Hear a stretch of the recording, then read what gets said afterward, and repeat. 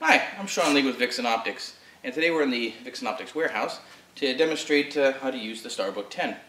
Now on this uh, particular setup I have the VMC 330 with the AXD mount, but this will work on any of the go-to mounts, like the SXP or the SXD2. I will go through and demonstrate uh, how to use all the functions of the Starbook, um, not only including setup and the go-to process, but also uh, astrophotography and auto guiding. It has a very good auto guiding system.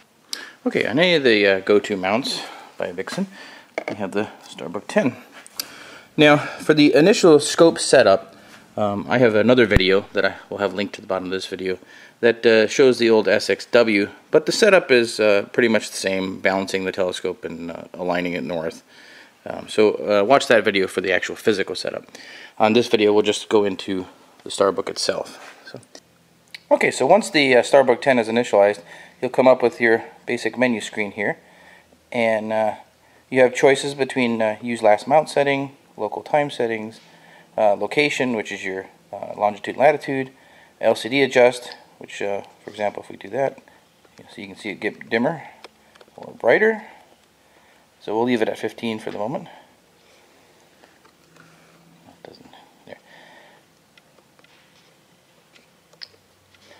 Okay, now night vision will turn the screen red for use at night, so you don't use your, lose your night vision. See? Okay.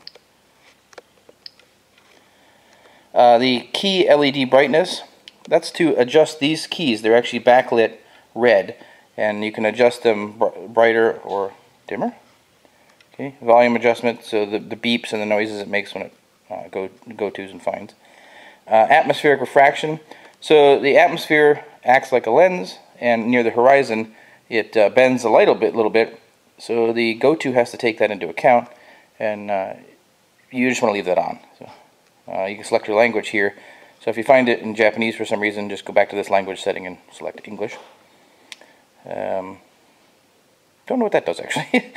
uh, this is a you know what version it is, and if you have it connected to a LAN or uh, USB would be for like a GPS. So, all right, let's uh, get the mouse set up. So I'm going to say uh, I've put in uh, Casper Park. That was the last location I've got. But if you want to change the location, just go in here uh, you can select a new location and uh, change your name by pushing the arrow buttons up or down to change the letter.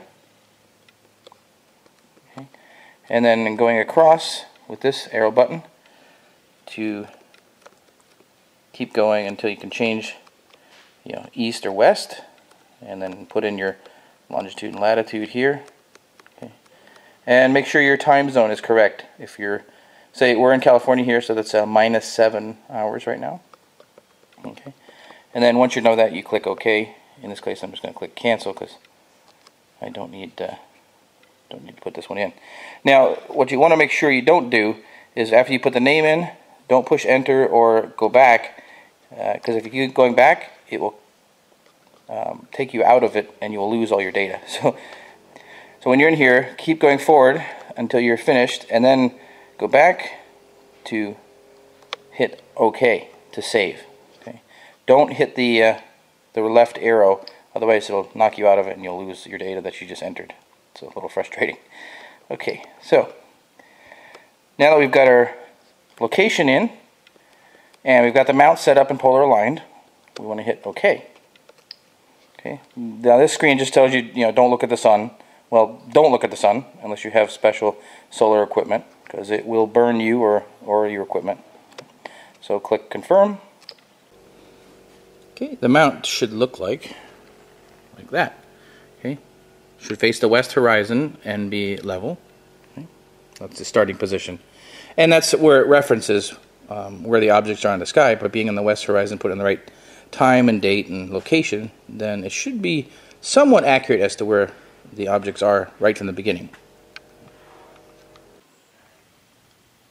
Okay, click OK, and then uh, OK again. Okay, so now this is what the horizon should look like where the telescope's aimed. Of course, we're in the warehouse, so that's not, not exactly what it looks like. Um, now we want to do an alignment. So how we do the alignment is just select an object first. Usually for alignment, stars are the best because they're so small you can go to good alignment. So let's pick uh, Aldebaran. So I say OK, and click OK. And now the scope is going to move to Aldebaran.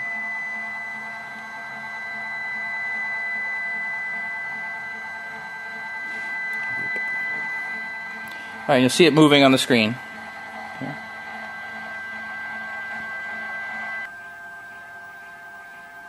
You can see Aldebaran there.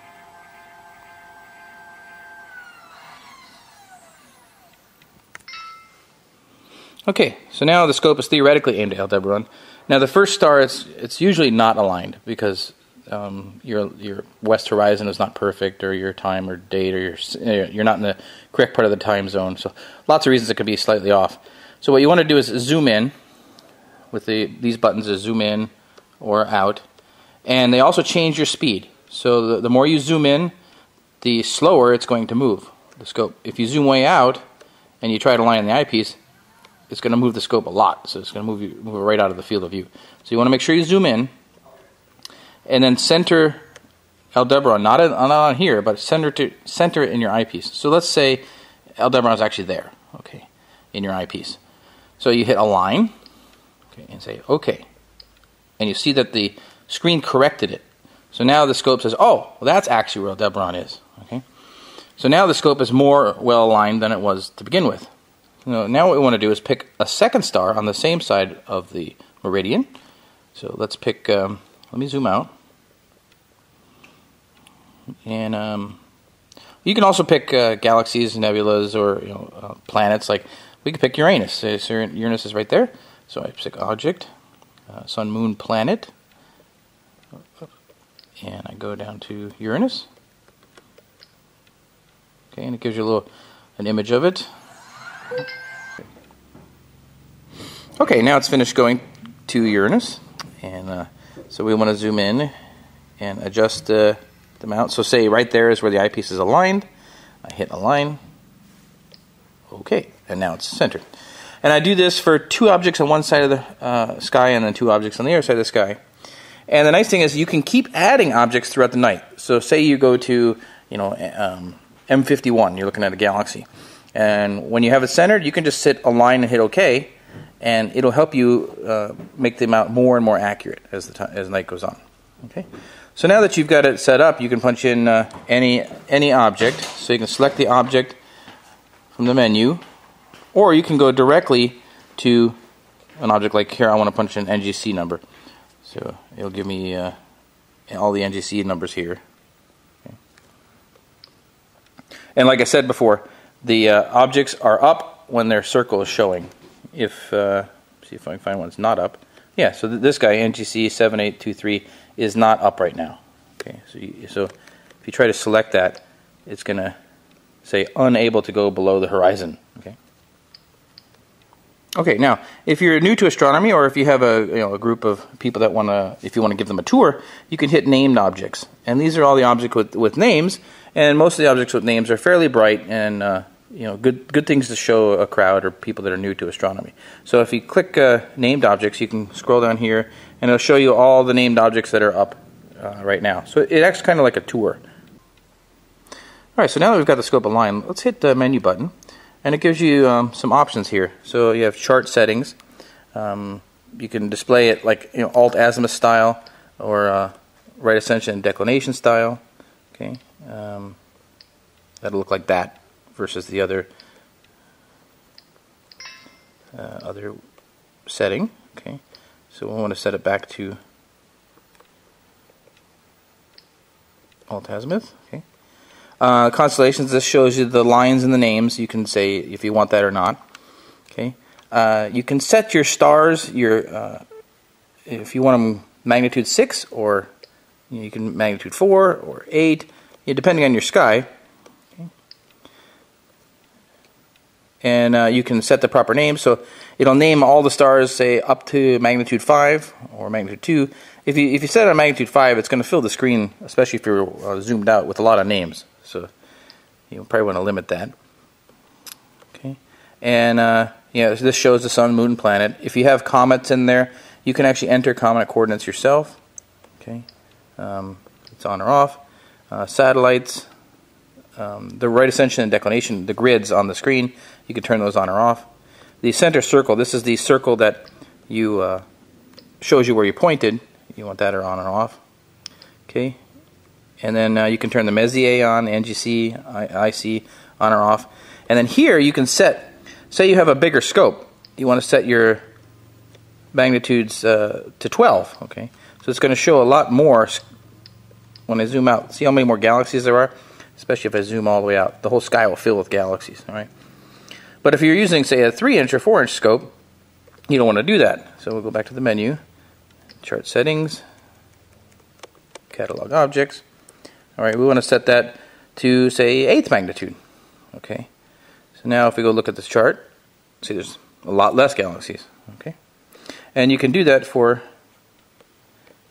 any of the objects.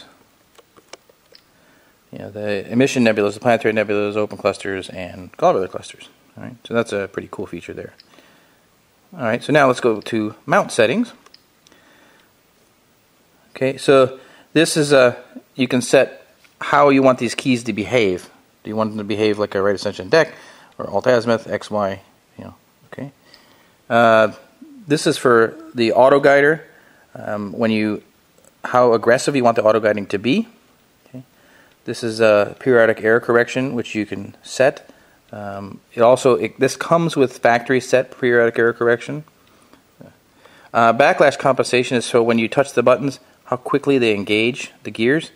Um, the zero zero is the minimum. So if you find that when you push a button it takes too long to move, just change these numbers, raise these numbers. Okay, okay the go-to speed is self-explanatory. Um, polar alignment scope. So your alignment scope that you're aligning the Polaris with has a light built in on uh, some of these mounts, so you can adjust the brightness of that. Uh, that. So you know, if it's too bright, you won't be able to see Polaris. Okay. So just adjust it to where you're comfortable.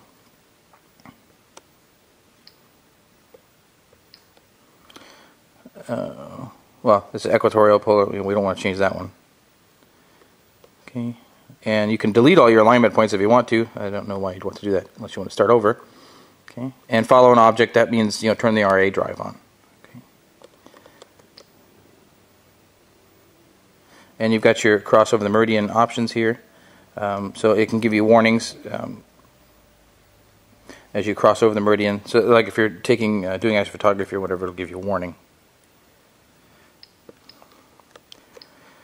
Okay, system settings. This is your, your local time, your uh, coordinates. This uh, adjusts the brightness of your LCD, okay, like we showed you before. But it'll actually go all the way up to 20, which is probably what we should be using in here. But it'll always come back to uh, 15 as a um, start position. Okay, and then you can turn your night vision on. So once you're observing, you can switch it to red. Alright, so I've got the night vision on now. I'm going to turn that back off. And turn back to white. Okay, and uh, back to system setting here. So the the rest of these uh, I already showed you in the beginning. Same same as the beginning menu. Okay, and the, in the language same. Um, now, what's different here is you have the expansion function. Okay, the expansion function is for the advanced unit here, and this acts as an auto guider. Now, this is a really slick setup, and I'll show you that in a minute separately. I have to um, put on a different scope and stuff to, to show you how this works, but it works very well. All right, and um, the rest says, oh, it automatically knows which mount you're connected to. In this case, we're connected to the AXD. If you hook up to the SXD2, it'll it'll show that as well. Okay. Now, something else. If you hit uh, enter by accident, it'll switch to chart mode, or even if you do it on purpose. In the chart mode, you can move the chart around anywhere you want to go. So let's say I say, oh, there's M33. I want to I want to aim at that, right? So I can just aim the crosshairs at it, okay, and then, whoops, I can hit enter and it'll say, do you want to go to that? Say sure. So go and the mount will actually move to where you're looking at on the chart. Okay. Now often I hit I hit enter by accident, so it goes to chart mode. I'm like, oh, I want to go back to scope mode. So just hit enter again and hit OK. it'll switch back. So if you hadn't moved the crosshairs, it'll just switch back without moving them out. All right, our next topic will be how to uh, use this as an auto guider. And that's probably one of its uh, best features. I've used it myself and it's really fantastic. So uh, I'm going to swap out the, the mount now. We're going to put in two side-by-side -side telescopes and uh, I'll show you how to do that. So now we're going to set up for uh, auto guiding. So I've taken the uh, 330 off the mount and you notice that the mount just has a, a plate like this. So the AXD and the SXP both come with a mount head like that and that's so you can put various plates on it. Now for our setup we're going to need the 3810 plate like this and it'll come with two bolts. And so we can uh, attach it where we want to on here. So we'll go ahead and do that. Okay you're going to start the thread with just your fingers. Okay and then uh, you'll need an Allen wrench uh, 5 millimeter this guy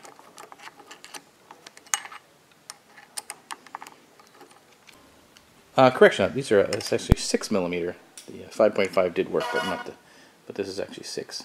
So. Okay, now that I've got that mounted on, I'm going to take my bracket, which I have here.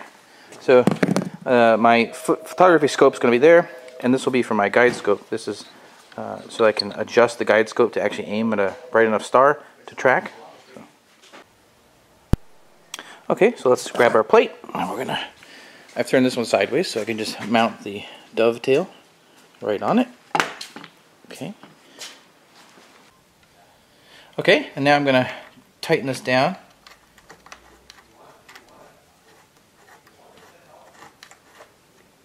Okay, and then tighten your safety screw here. Okay. All right, and now we'll get the uh, scopes. We'll put the we'll put an 81 millimeter on this guy, or sorry, the 100 millimeter on this one. This is what we're going to shoot with the uh, VSD 100. And then on this side, I'm going to put an 80 millimeter uh, 81S uh, as our guide scope. And on the back of that, I'll put a CCD camera. On the back of this one, I'll put my D90 uh, camera for actually doing the photography. Okay, and then I'll show you how to auto guide using that setup. Okay, now I've got the scopes mounted now. First thing I'm going to do is uh, put the camera on the guide scope. And I've got one of our Vixen cameras here. And um, this is number 3763, this uh, adapter uh, up to T-ring. And you see on the flip mirror, if you unscrew the inch and a quarter eyepiece adapter, it actually has T-ring there. So you can just simply thread that guy on.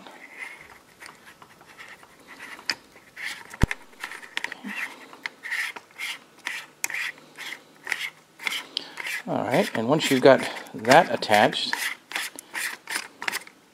okay, then you'll want to connect it to the Starbucks. So I take an RCA to mini, uh, sorry, to mini plug there. And I will actually plug it into this port right here. It says video in. Okay. All right, I've got it hooked in there now. Okay. All right, the next thing I want to do is attach my uh, D90 to the VSD 100. And right now it has the eyepiece adapter on there, so you want to take that off, just unthread that. Okay, and then it also has T-threads here. So you want to get a T-ring for your camera if you have a Canon or Nikon, whatever type you have. Okay, I've removed the lens from my Nikon. Then I'm going to take the, the T-ring. You'll see there's a little red dot on it, or white dot, depends on which uh, T-ring you get. Just align the dots up like this, and turn and you hear it click into place. Okay. Okay, now the easy way to do this is just remove this, uh, loosen these guys here, and remove this entire adapter. Okay, and then thread that onto your T-ring.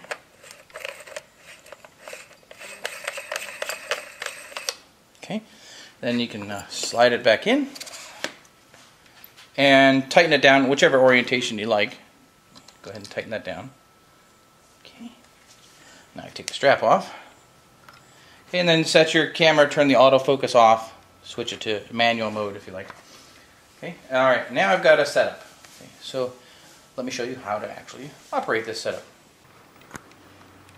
Okay, to start with, uh, on the auto guider, let's hit uh, menu, and we'll go down to expansion function. Okay, and uh, the video signal input, we can hit uh, This one's a QVGA. Okay, and you'll see an, an image comes up there. All right, when we're using it at night, we'll see some stars there. I've got the cap on. I don't want to expose the camera to too too much brightness. Um, and I'll, I'll, edit. I have some film in here I can uh, show you from actually using it. Okay, so hit OK. All right, so now I've got the video uh, input, and for for guiding, I hit uh, Video Guide. Okay, and this square, you move. You can move this square around by saying Select Guide Area. See, and I can move the square. And I want to move it to a bright star. And if I don't have a bright star in the field, you want to actually use your eyepiece to find a bright star and then uh, turn the flip mirror. I'll show you how to do that in just a second. Okay. So uh, say I have one theoretically in the center. I hit OK. Then I do a calibration. And when I do a calibration, it'll automatically calibrate the mount to see what, how the star moves and compensate for that. It takes um, a, a, minute or two to do that. Um, I do it anytime I switch uh, from one side of the sky to another. But once it's done calibrating, it'll beep.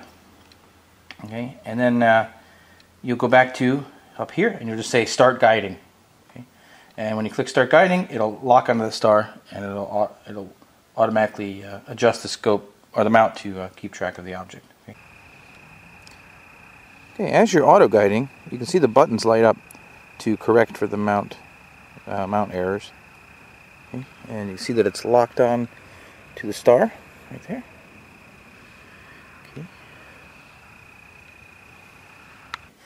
Now you can change the aggressiveness, how, how quickly do you want it to move. If you're finding your, your stars are jerking around like this, then you can adjust this up or down. Um, you know, the, the, the settings like that, they seem to work just fine. I, I used the, the settings, the factory settings. So, Okay. Um, so let me show you how to actually uh, set up the guide scope on the mount itself. Okay. All right. So you've got your guide scope here. You hit go to, say, say I want to shoot M51. All right, so I hit, in my go to, I hit M51. With a wide field scope like this, it should be in the field of view, no problem. So I can look at the camera, make sure, oh, it's there. Okay, so I've got my object centered, and I can adjust the, the hand controller to, to centered if it's not centered. Okay, so now I have it centered. Now I want to get a guide star. So what I do is turn my flip mirror, show this, uh, so this is your flip mirror dial here. So turn the flip mirror up so I can look through the eyepiece and I can see a starry field. I look for something, you know, seventh or eighth magnitude, something that's fairly bright star. It doesn't have to be extremely bright. Uh, put that in the center of your eyepiece, and you do that not by adjusting the hand controller, but by adjusting these knobs here. So this will adjust this scope independent of the mount, which is what you want to do. You don't want to adjust that scope, you want to only adjust this one. So you can adjust this up and down, or left and right. And these are opposing hand screws here. So as this one goes in, this one comes out. So you, you need to adjust both of them, at, both of them at the same time. So you adjust those until the star is in the center. Okay. Once you have it in the center, you change the flip mirror, and now it should be showing up on your screen on your hand controller. All right. Um, you do want to focus. Make sure that you can make the star as small of a pinpoint as possible, so you won't get any tracking errors. And once you've done that, then you're good to go. You can start shooting with your camera um, you know, five minute exposure, whatever length you want to. Okay. So if you move to another object, you'll have to start this process again. You'll have to find another guide star um, and adjust these, put it in the center, flip the mirror, and uh, start guiding on the hand controller again. So every time you move to a new object, you, you need to do that. All right, well that's it for the setup. Um, if you have any questions, you can contact me at Sean, S-E-N, at MrStarGuy.com um, or uh, you can call Vixen Optics at 949 429 6363. Thank you. Have a good day.